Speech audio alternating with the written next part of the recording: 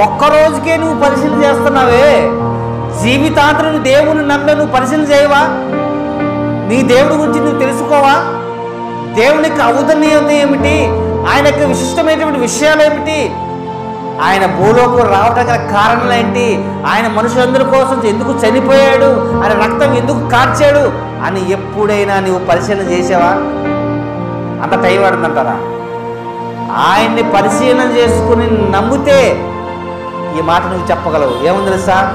సందేహపడకుండా నేను ఆయన యందు నమ్మిక నేను ఉంచాను.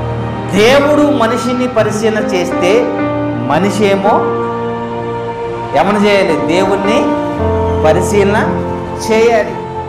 ని- నిజ దేవుడు అని తెలుసుకోవాలి నువ్వు. అర్థం పరిశీలన అంటే అర్థం ఏంటి? దేవుడు ఎవరో తెలుసుకోవాలి. తెలుసుకోకుండా ఏదో పెద్దలు చెప్పారు అని నమ్ముకుంటే